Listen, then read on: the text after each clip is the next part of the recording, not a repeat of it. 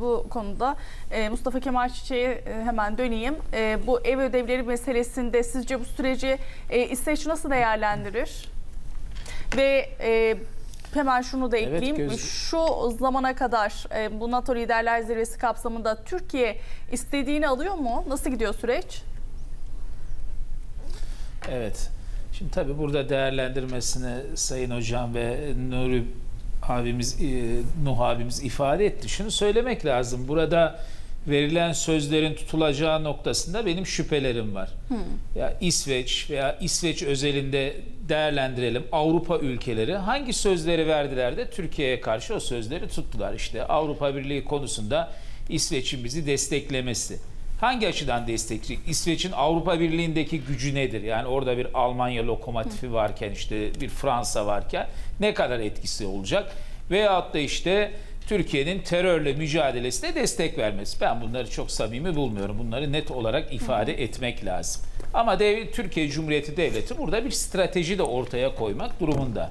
Burada tabii e, Furkan hocamın ifadelerine katılıyorum. Ben bunu bir yeşil ışık olarak değerlendirilmemesi e, gerektiğini düşünüyorum. Bir sarı ışık olarak görmek daha e, mantıklı geliyor. Çünkü Türkiye Büyük Millet Meclisi'ne bu gelecek. İşte anayasamızın 90. maddesi bir kanunu uygun bulunması, onanması şeklinde iç hukuk yoluyla da bunun e, neticelenmesi lazım ki bu gerçekleşebilsin.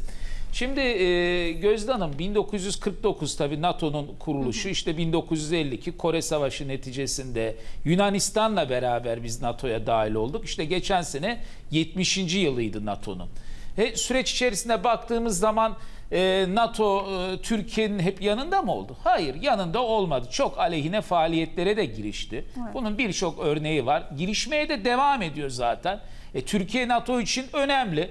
Çünkü NATO'ya baktığınız zaman müdahale ettiği bölgelere bakın. Hep Müslüman coğrafyaları, İslam ülkeleri. İşte Afganistan'dan tutun, bir şekilde Irak'tan tutun, Kuzey Afrika ülkelerine kadar. E, Afganistan'da Türk askeri olmadığı vakit sokağa bile çıkamayan NATO askerleri vardı ki orada NATO'nun temsilcisi bile bir Türktü. İşte Hikmet Çetin yıllarca orada e, temsilciliğini yaptığı komutanı bir Türktü. Bu süreçlerin hepsini biliyoruz. Ama İsveç'i bizim ayrık tutmamız lazım. Çünkü İsveç hakikaten 2 milyarlık bir Müslüman coğrafyasının damarına basan davranışlar sergiliyor.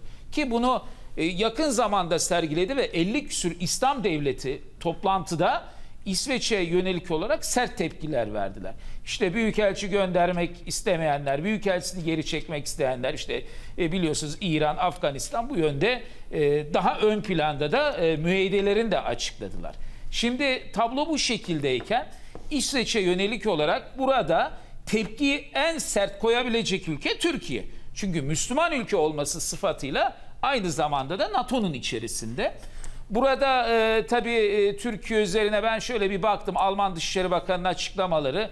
İşte biz beraber bunu başardık. Burada sadece Türkiye'ye yönelik olarak bir Amerika'nın devreye girmesi söz konusu değil. Muhtemelen e, diğer büyük Avrupa devletleri de Türkiye'ye İsveç konusunda e, belli bir noktaya gelmesi konusunda e, epey bir e, mücadele ettiğini de görüyoruz.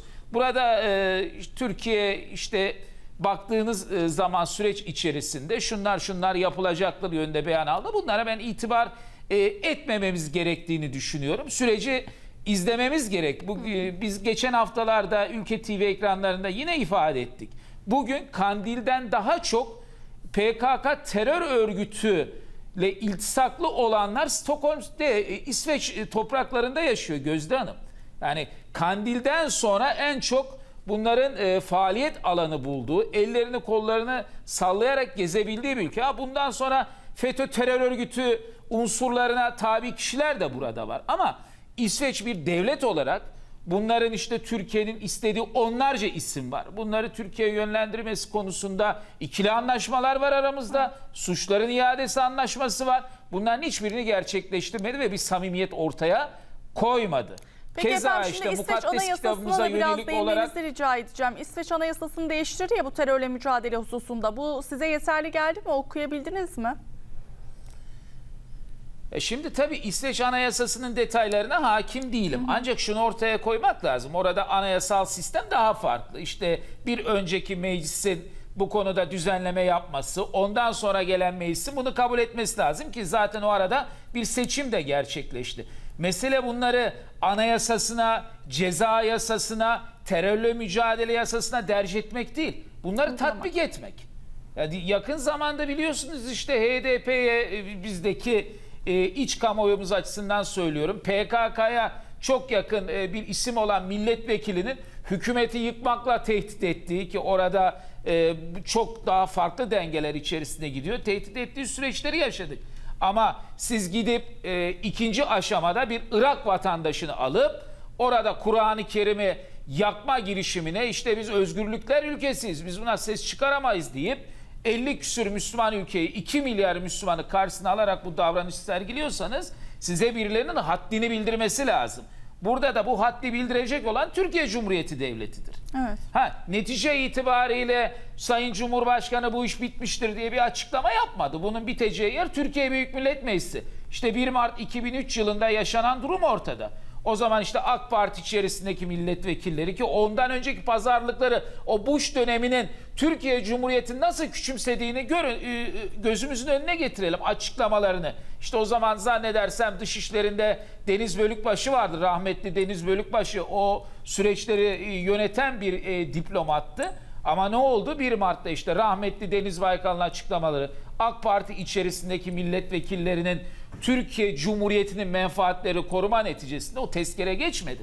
O tezkere geçmedikten sonra zaten Türkiye Cumhuriyeti'ne düşmanlık daha ileri boyuta gitti. İşte askerlerimize çuval olayından tutun da mütemadiyen devam eden birçok süreci e, yaşadık. Evet. Ama ben burada İsveç'ten çok somut Türk halkının ki ben e, e, birkaç gündür takip ediyorum. Özellikle ön planda olan gazeteci büyüklerimizin yaptığı anketlere de bakıyorum. Epey katılımlı anketlere.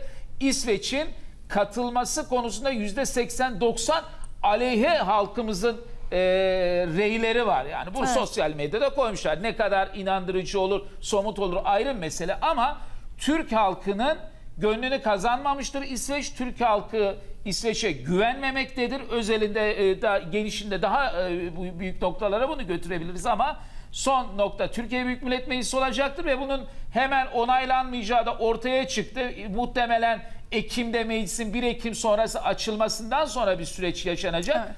O süreçte de işte iki aylık, iki buçuk aylık her neyse burada İsveç'in samimiyetini, yaklaşımını, Türkiye'nin terörle mücadelesine desteğini net olarak görmemiz lazım. Yoksa kolay bir şekilde İsveç'in 32. üye olarak NATO'ya girmesine yönelik olarak da tepkimizi ortaya koymamızın ben önemli olduğunu düşünüyorum Gözde Hanım. Peki Daha fazla video izlemek için kanalımıza abone olabilir, ilk izleyen olmak isterseniz bildirimleri açabilirsiniz.